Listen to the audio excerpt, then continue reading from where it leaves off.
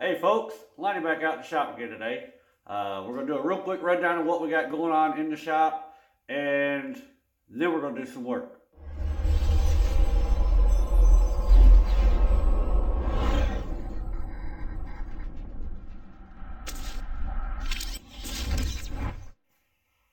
All right, folks. First of all, most of you know I've been working on the old Sears again. I've got the motor bolted down, the hood bolted down. I've got a new battery for it. Um, I've got a pulley for it. I got the tires on the front. Uh, all we got to do now is mount a gas tank, a gas pedal, do the wiring and the exhaust. And then that right there will be ready to ride. Uh, this is my buddy Noah's.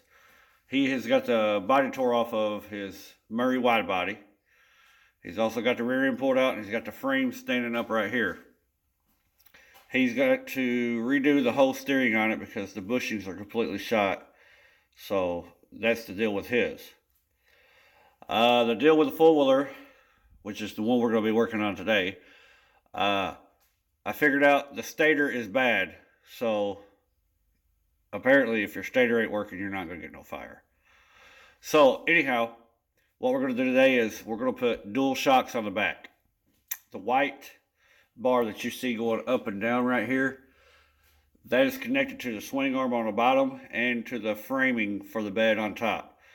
That's not allowing it to have any suspension. That's the way I was going to do it, but I've recently scored a four-wheeler suspension and I'm going to take the two rear shocks off of it and we're going to put both of those back here. So we will have suspension on the four-wheeler. Uh, I had posted some pictures of a Sears Suburban, this one and another one. Uh, plans have changed a little bit. There's another YouTuber that was really wanting my Murray, uh, the one I was going to use for the fan build. So I'm, I tried to help him out, and he done a little swapping with me. As you can see, and if you've seen on Facebook, I acquired the old Sears that I used to have back. Uh, what we have already done is we've already put a 13 horsepower Honda on here. It's pull start. Already came with the gas pedal. I'm mocking up where the gas tank is going to sit. It's just sitting on there for now. I, I know I didn't record none of this, but I had a lot of company over. It's, it's real hard to record with company. Anyhow, uh, uh, we bolted the motor down. Also, I built this brace across here. That way I could weld the stop clutch back inside of here. Uh, because the whole mounting system that was on here uh, had the gas tank over on this side, right through here. And you were to mount the battery through here. Well, that system is right there, and as you can see, that's a big old steel plate. I wouldn't have been able to bolt the 13 horsepower Honda on there. So we've removed that, and that's basically all that I have done to it.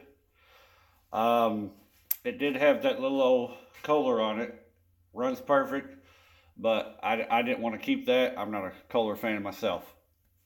Anyhow, uh, picked up some exhaust yesterday from a, a local flea market uh, motorcycle exhaust, but it's got good bends in it.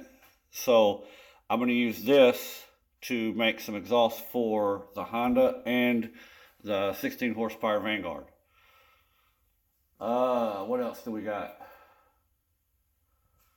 Yeah. Also scored some new stuff for my drill press, some drill press clamps. May not seem like a lot to some of you, but man, this stuff helps. I mean, you can have a free hand to do other things, you know, rather than having to hold your material. Uh, but anyhow, that's basically catching you up on what we've got going on here. And as you can see, my shop is a wreck. Uh, for the last week, we've had four people in here every night working on stuff. Um, there's some more people that uh, basically ran me down, chased me down. Uh, used to be an old buddy of mine and uh, his friend. They came up to my work wanting to know, I guess they finally ran across some of my videos on YouTube. But uh, I've been helping them. I helped them. I posted some pictures. Uh, built a double clutch pulley system for them. Uh, Todd Fearless Front has done this in some of his videos. A, a few other people have done it. I've done it. Uh, they were needing some help, so we built. We did that. Uh, we also welded up their a couple rear ends for them. Uh, MST 206 rear ends.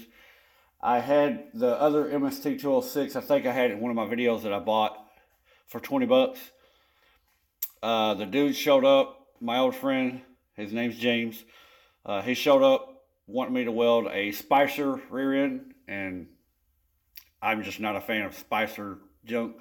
So I hooked him up and gave him a MST 206, welded it up for him, and he'll be installing that. Anyhow, folks, I've got a new battery for this, new battery for that. I'll get a battery. Well, I won't need a battery for that because this one here is just going to be basically just a simple little mud romping toy. Uh, nothing major. That one there is the one that I'm going to continue building on. That'll have the LED pod lights on it. Uh, I'm going to try to get the rear rack back that I used to have and uh, probably put a winch back on it. Anyhow, guys, let me get this thing dug out of the back corner over here and we'll start working on this thing again. All right, as you can see, we've got the dump bed full wheeler over here. Uh, what I'll do is I'll check this edge up. I'll put a block underneath here with my jack, jacket up. Then we'll cut this brace out like I was talking about. You have to have it jacked up or else this whole thing's just going to fall down and try to meet the rear swing arm. So, we'll get that done. But, I'm going to give you an exclusive, uh, I guess, YouTube inside. I'm going to announce a project that I've been planning on doing. Uh, and I hope you all will go along with it and enjoy it.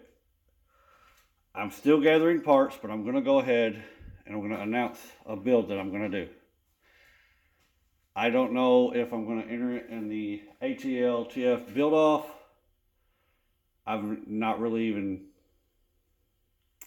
put a lot of thought in that part because what I'm going to end up doing is I, am not sure if it'll go along the rules. I'll pop over there and I'll check it out, but I don't know if I'm going to have enough time to build this uh, for that competition. Anyhow, as most of you all know, I've been working on the uh, Peerless 820 rear end. I've got it all cleaned up. What I got to do is just uh, seal it up. I'm not going to lock it. I'm just going to leave it wide open diff. Uh, I've still got to clean the, the cases, you know, the outsides of them. But yesterday while I was out gathering parts and stuff, I came across that one. As you can see, I'll spin you over. I can't turn my camera sideways because it's not going to allow me to here. But you can look at that. Let me get some of that. There you go. Peerless 820 02A. That one over there is also a Peerless 820 02A. Here's where it's going to get a little interesting. I'm going to take you outside. My build is going to involve using both rear ends. When I said I acquired another parts four-wheeler, I've talked to a gentleman. Some of you all may know him. He's known as Doc Sprocket. if you'll notice, this has front suspension on it. It better have, it's four-wheeler. But you look, you'll see this got steering hubs. I hope you can see where I'm going with this.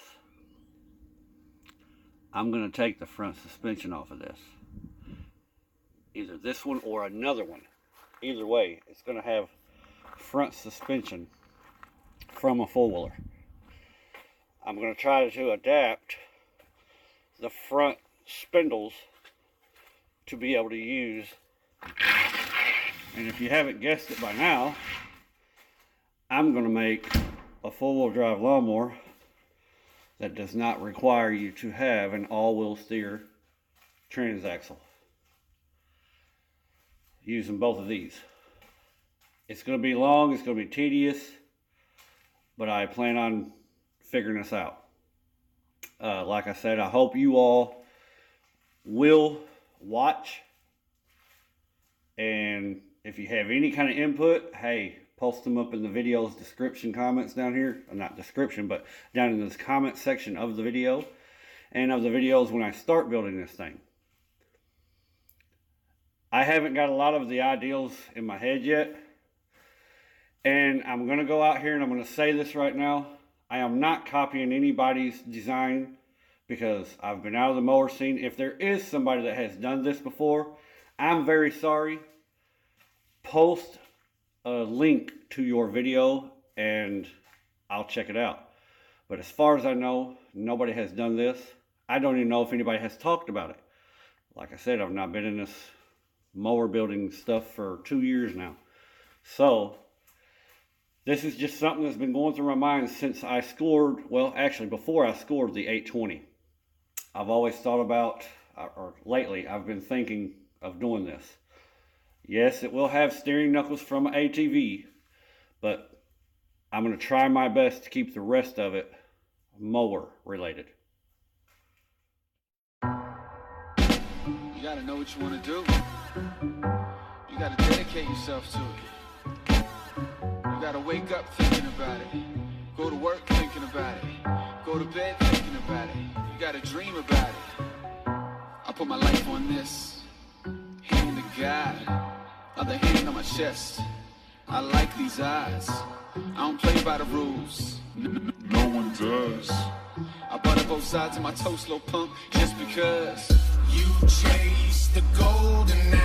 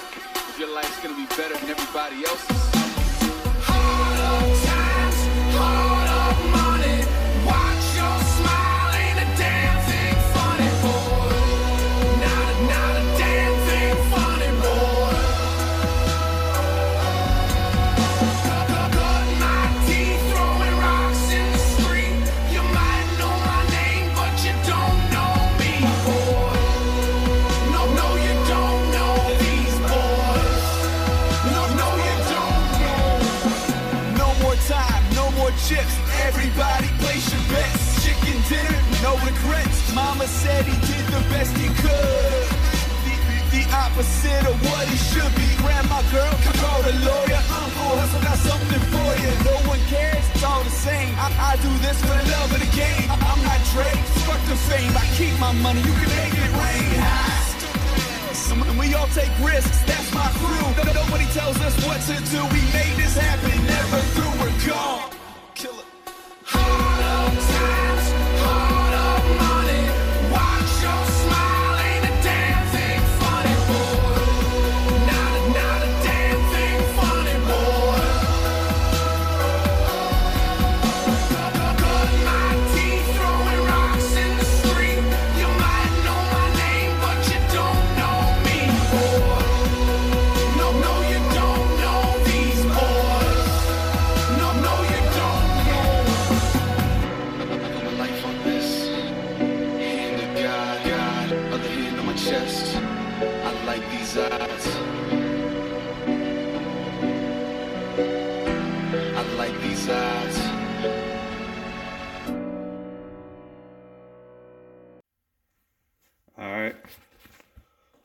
Piece out of there, cross brace there that was going down.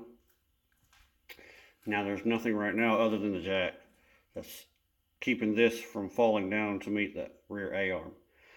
So now we're gonna go out and we're gonna get the shocks off of the parts four wheeler, and we're gonna figure out a mounting location for them back here, and figure out something that goes some kind of mounting location on top right here. All right, we got this off. that's the two rear shocks that's on the back of that four wheeler out there that I showed you. That's the one that was on here. You can see how much difference there is. The thing I do like about this one is this spring, it's got adjustable tension on it. These two don't, but these I'm going to say are going to be more than enough for what I'm ever going to use this thing for, but it will have suspension with these. Now the ideal is to take both of those, mount them somewhere back here, coming up to another cross brace, straight up. And I'll use the, what I've done is I cut the top mounting hardware off of the frame. So I'm going to utilize those. Alright guys, as things usually go, you know when you're working on something, you plan something out, things change along the process. Quick change up. We're not going to be using the double shocks. In fact, we're not going to use one of those shocks at all. I had mentioned a while ago that I didn't like how these wasn't adjustable, but it was okay. Well, I've got this shock up in there. I don't have it welded yet. I've got the top tab on there and got it sitting up against that cross frame right there. I've realized this thing has a lot of strength on it. Not to mention, if I need it to be a little stiffer, like I said, I can adjust that. They've got this adjusted as loose as it will be. So all I've got to do is turn this bottom one, which will put more tension on this, which means it'll hold more weight and pick it up. So I think we're going to leave this thing right here. We're just going to weld this in. To call it good. All right, guys. Now that we've got this mounted back on here, got the, the bed all mounted back down, shocks welded up, bolted up. I'm gonna climb up on this thing. and I'm gonna try to bounce and see what kind of suspension travel we have. If it'll hold me up back here, close to the end here, you know, I'm gonna bounce on a little bit, and if it'll hold me up, then this will be plenty strong enough to haul anything that I'm gonna haul with it. Uh, also, it'll be strong enough after I build the drop hitch system. Uh, it'll be strong enough to hold a trailer back there too. So let me climb up here. We're gonna try to.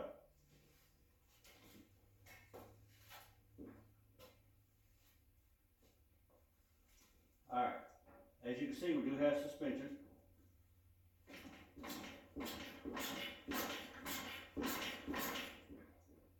I think that'll work, guys. I'm 190 pounds, so that's plenty enough. Uh, I know the further you get out, the more it feels like you're going to have weight, you know. But the hitch system that I'm going to build on this is not going to be based off of the top frame. So it's not going to have nothing to do with the suspension. It's going to be based off of the rear swing arm. I'll attach to it and I'll come up. Uh, let's see.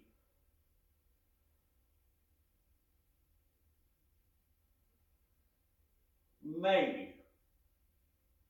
I might end up ba- bringing it off of this frame. That way, it'll have a little bit of the bumps taken out of whatever I'm hauling uh, as far as hooked to a trailer. I'm going to weigh my options, uh, but uh, one way or another, we're to build a, a hitch system that'll come off, and I'll have a ball back there. That way, I can hook a trailer up to it and you know pull things.